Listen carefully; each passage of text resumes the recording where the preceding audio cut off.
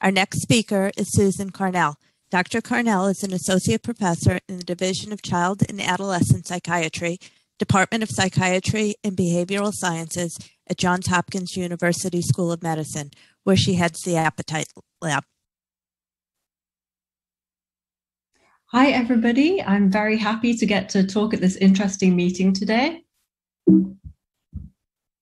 I have no disclosures. Um, despite what a lot of people think when they learn what I study, my background is actually not in nutrition. Um, I'm an experimental psychologist who studies eating behavior, uh, pred predominantly in children, but also in adults. And um, my primary uh, interest is in the uh, field of obesity. And what I'd like to do today is try and build on uh, what some of the earlier speakers have already uh, talked about and to, uh, to ask um, how research on eating behavior, taking more of a psychological perspective, might be able to help us move beyond the kind of more narrow definition of precision, precision nutrition as uh, the search for uh, the optimal diet for an individual uh, and how physiological information might help us determine that, to talk about how um, psychosocial information information and behavioral information might help us determine the best achievable diet for an individual and the best ways to support an individual to achieve it. So we've already uh, seen the biopsychosocial model uh, at this meeting, and I'm going to uh, refer to it again here.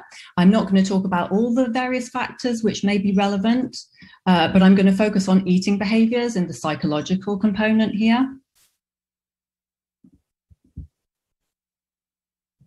Oops excuse me.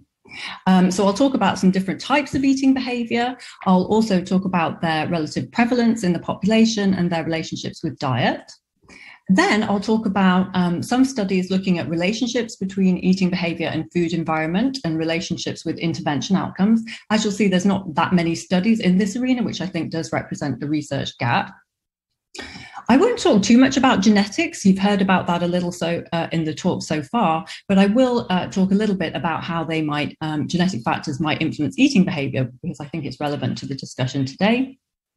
And we've also talked about um, uh, the importance of um, income inequities in terms of obesity and eating behavior. I won't talk so much about those systemic factors, but I will talk about uh, the potential influence of factors associated with socioeconomic status, such as food insecurity and stress on eating behavior. And finally, I'll try and pull this all together a little bit and talk about possible implications for diet, um, uh, also some perhaps non-diet related implications of the research, and some behavioral strategies that are being used to tackle um, eating behaviors in uh, this field. So first, eating behaviors. And um, I want to start by defining this term appetitive characteristics, which is what I study a lot in my lab. So what do I mean by that term? Um, I mean early emerging, enduring dispositions towards food or eating styles that differ between individuals. So one example might be food cue responsiveness, uh, or how responsive one is to external food cues, um, such as the sight of food or the smell of food. How much does seeing a, um, a delicious food or smelling a delicious food tempt us to want to consume it? Um, another is satiety responsive. Uh, responsiveness. So how sensitive are we to internal cues uh, that tell us to stop eating, um, such as the release of gut hormones or um, gastric distension? We have various behavioral tests to measure this, but we also have questionnaires, which I think might be more useful in the context of developing personalized nutrition plans. Um, and uh, one commonly used instrument in the field is the Child Eating Behavior Questionnaire. This is a parent report measure.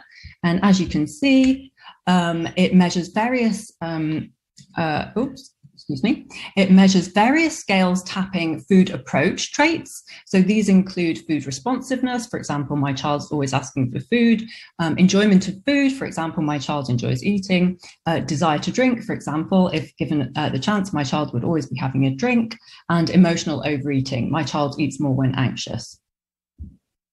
And it also contains uh, more food avoidant traits. So uh, things like satiety responsiveness, for example, my child gets full easily, slowness in eating, my child eats slowly, uh, food fussiness, uh, my child is difficult to please with meals, and emotional undereating. For example, my child eats less uh, when uh, he or she is upset. We also have ways of measuring this um, even as early as infancy. So this questionnaire actually um, assesses the same traits during the milk feeding stage where uh, children are just consuming uh, milk alone. And more recently, my colleagues at UCL have developed the adult eating behavior questionnaire with the goal of being able to investigate how these uh, traits change um, and develop over time. So how frequent are these uh, behaviours in the population? Uh, I just want to show you some data from um, a community survey we uh, conducted actually at the beginning of the COVID pandemic. And what you can see on the top is um, the distribution of scores in satiety responsiveness based on the child eating behaviour questionnaire and um, also scores in a sample of adults um, on the adult eating behaviour questionnaire. And what you can see is that the distribution is kind of shifted to the left in the adults. So actually it does seem just based on this um, quick analysis that satiety responsiveness actually decreases in adults compared to children, is lower in adults compared to children. The opposite seems to be true for food responsiveness and emotional overeating, which uh, are actually a little higher in adults. Just move some windows here. Okay. Um, uh, so what about relationships with diet? How do these things actually predict um, what individuals consume? Well, before I talk about that, I actually want to talk about what we know a lot about, which is relationships with weight and adiposity which of course um, is uh, in a lot to a large extent the cumulative result of dietary choices. So in this very large uh, systematic review and meta-analysis of data from over 36,000 children, we saw rather robust positive um, associations with adiposity for the food approach traits and negative associations for the food avoidant traits. And this was also true in the smaller number of prospective studies, both for the CEBQ and also for the um, baby uh, eating behavior questionnaire. There's less data using the AEBQ right now, but it seems to follow a, a similar pattern. Um, so what about relationships with diet, actually kind of explicit um, studies about the relationships with diet? Well, an interesting story seems to be evolving here. So uh, we know that satiety responsiveness is associated with lower weight. We also know that uh, consumption of lower energy dense foods um, is associated with lower weight. But actually, when we directly assess the relationship between satiety responsiveness and diet, we actually see a somewhat uh, different picture. Uh, so actually higher satiety responsiveness seems to be associated with things like lower fruit and vegetable liking, less fruit and vegetable um, intake as a percentage of overall intake, and less dietary variety, and actually higher eating frequency, so perhaps more of a snacking pattern. And this seems to be uh, being borne out in the um, AEBQ data as well. So I think what this points towards is that we probably need to be considering both appetite, but also food preferences and habits uh, when uh, thinking about personalized nutrition. Now, one question I'm very interested in in my lab is this question of where do appetitive characteristics come from? And I do want to talk about uh, the potential for genetic influences uh, as it's relevant to our discussion today. So what I'm showing you here is data from a twin study where we actually assessed satiety responsiveness and enjoyment of food in uh, uh young twins. And what you're looking at here in the dark blue bars is correlations within monozygotic or identical twins who share all their genes compared to correlations with uh, within dizygotic twins who share only half their genes. And what you can instantly see is that the correlations within the monozygotic twins are much uh, higher. And actually, uh, uh you can calculate heritability from this data. And we see that 63% of the variation in satiety responsiveness and 75% of the variation in enjoyment of food are attributable to genetics based on this method. Interestingly, emotional overeating and undereating seem to show more environmental um, influence. We can also demonstrate heritability even when we uh, measure appetite in infancy. So what you can see here is that slowness in eating and satiety responsiveness are really quite substantially genetically influenced and enjoyment of food and food responsiveness also show significant genetic influence. So I think the implications here is that these behaviors really do seem to emerge early, and the fact that they are genetically determined to some extent suggests they may be quite difficult to change, and we may need to work with them rather than against them. I do just want to talk about um, another example of eating behavior. So some of you are probably familiar with the concept of uh, binge eating, which is actually a um, disorder, uh, uh, has, is classified as a um, disorder in the DSM-5. Uh, so just to kind of review the definition here, what binge eating disorder constitutes is uh, recurrent and persistent binge eating episodes in the absence of compensatory behaviors and accompanied by marked distress. Um, binge eating episode being consumption of a very large amount of food in a small space of time. It's often um, binge episodes can be triggered by stress and anxiety and um, happen when an individual is kind of alone uh, uh, in the evening at the end of the day. And it's actually quite uh, common. So there's a 2.8% lifetime prevalence in the US. Of course, uh, you may not qualify as um, uh, uh, as exhibiting full binge eating disorder, but you still may have kind of binge eating present. Um, so you could have subthreshold binge eating disorder, binge eat, the occurrence of binge eating, or loss of control eating, which is how this is defined in children and adolescents. So what loss of control eating is, is the subjective experience of loss of control while eating, actually irrespective of the reported amount of food consumed. And actually about a third of uh, children with and adolescents with overweight or obesity experience some loss of control eating. And uh, binge eating episodes are, of course, associated with consumption of high energy dense, um, high sugar, high fat um, foods. Um, I also wanted to point out that I'm talking about a certain number of dimensions of eating, but you'll see a lot um, of other ways of describing this kind of eating in the literature, and some of them are um, listed at the bottom of the diagram here. Um, However, uh, they all, um, even though they may be, um, they're slightly different and they may be um, more intuitive for certain populations, um, they all seem to be getting at an, under, um, an underlying latent trait of uncontrolled eating, which is exhibited to varying degrees. And this uh, phenomenon of uncontrolled eating is, of course, related to other more general behavioral traits, uh, which are listed here. So, reward sensitivity, uh, um, cognitive control ability, and negative affect may all contribute to the expression of uncontrolled eating in an individual, which may lead to overeating, typically of high energy dense um, palatable foods, and to obesity. I just wanted to mention those other um, potential uh, measures of eating behavior and the underlying construct.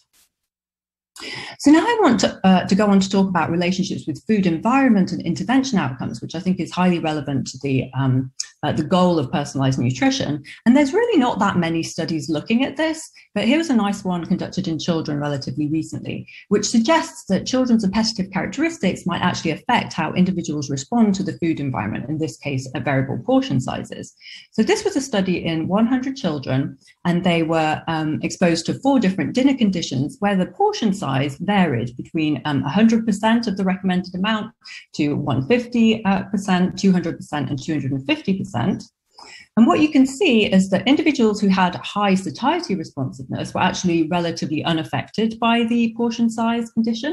But those who had low satiety responsiveness actually um, consumed more um, in those, those large portion conditions. So they seem to be most vulnerable to the effect of large portion sizes on increasing intake. Here's another interesting example, this, uh, in this case, um, in the context of behavioral obesity treatment. So um, in this study, children with overweight or obesity underwent family-based behavioral weight loss treatment. And what you can see is that those who had high satiety responsiveness actually were showing good weight loss outcomes, even by 18-month follow-up. But those with high food responsiveness or high emotional eating were actually showing greater weight regain. So what this suggests is that child's appetite may actually affect um, intervention outcomes. So children with high food responsiveness and emotional eating may actually find it harder to maintain dietary changes. And I want to finish this section also by mentioning some data in adults. So we talked about binge eating. This is data from the Look Ahead trial, which was an RCT of an intensive lifestyle intervention um, uh, for individuals with diabetes. And what you can see here is four-year weight loss outcomes. And you can see that the group which actually showed least weight loss at four years uh, was the group who um, displayed consistent binge eating. So this also seems to be a, um, a behavioral um, phenotype which is affecting um, the outcome of interventions. So um, I think what this means is that we may need to take into account um, uh, uh, when designing personalized nutrition interventions, people's um, eating behaviors, which might affect how they respond to certain recommendations. I want to finish uh, by talking about um, the potential influence of socioeconomic status, as I've uh, mentioned earlier. And I want to, um, in this section, also introduce two kind of different ways of uh, looking at eating behavior. So some of you may be familiar with the concept of delayed discounting. Uh, what this is, is the degree to which an individual is inclined to pick a reward, which could be food or non-food, uh, which is smaller but delivered sooner, as opposed to a reward which is larger but delivered later. And the classic example of this is the marshmallow test, which is um, pictured here. What they did in this particular study is to look at food-related um, delay discounting. So the food here was a, the reward here was a food reward, and what they found was that women who were um, who had food insecurity were actually more likely to opt for those smaller, sooner food rewards. So this is pretty interesting because it suggests that this environmental factor of food insecurity might actually be um, affecting habitual decision making in relation to food.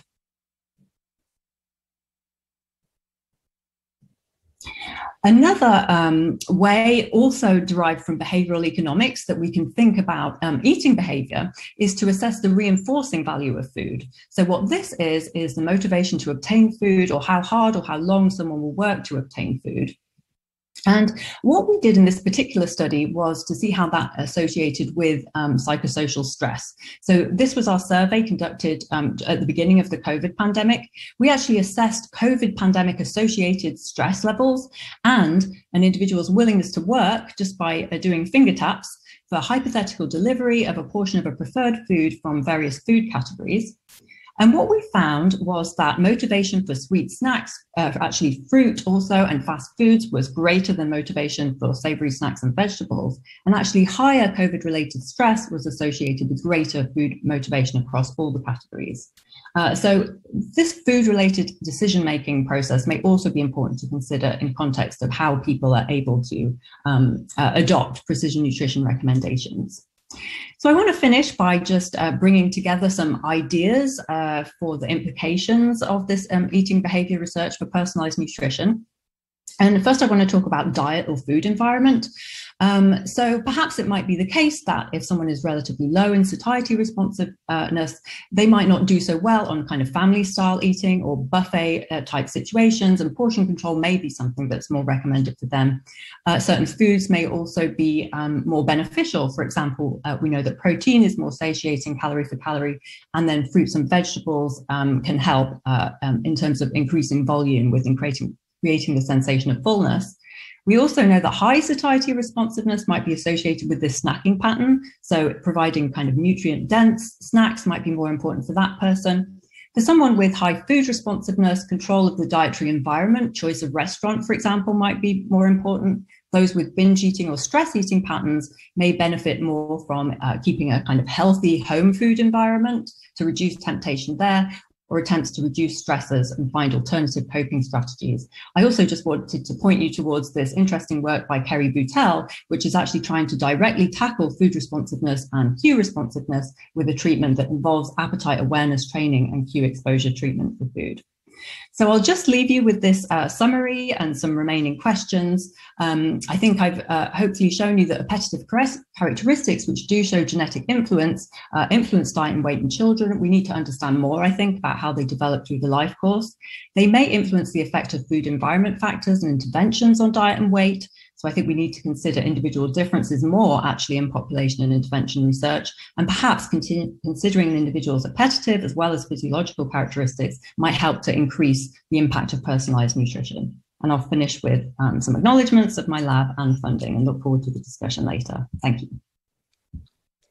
Well, thank you, Dr. Carnell, for highlighting the importance of the biopsychological model in considering an individual's appetite.